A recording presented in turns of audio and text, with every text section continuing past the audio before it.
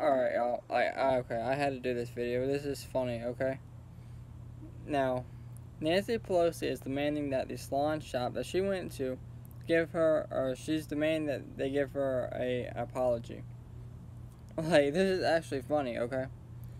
Like, you can't sit here and say, like, I gotta wear a mask, you gotta wear a mask, you gotta wear a mask, this family gotta wear a mask, you gotta wear a mask, okay? You can't get your hair done, I can't get a haircut, you can't get a haircut, you can't get, this family can't get a haircut, okay? But the people that are supposed to be the biggest ones enforcing laws, the ones making laws, passing laws, okay? You're out there breaking the laws that you're passing.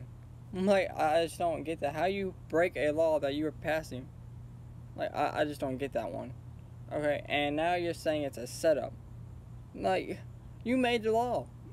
If you you should be following the law, and you have should have nothing to worry about.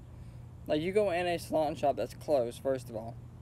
You don't wear a mask, okay? You're the one who wanted to close everything down to start with. So let's get that clear. Y'all wanted everything to be closed down. You closed everything down. Y'all want everybody to wear masks. We all wore a mask, okay? And now, you're going in there when it's closed down and you're not wearing a mask. Your barber's wearing a mask, but you're not. She's doing a better job enforcing the law than you are. Like I said, like this, this is really, it's just funny. You know, I'm not even, I said, I'm just I think I think it's funny myself. Now, I'm not sure people are going to defend her uh, for whatever reason, but I'm not. And this proves exactly why I'm running for Trump. But uh, let me know what you guys think down in the comments below. And as always, thank y'all for watching, and y'all stay safe out there.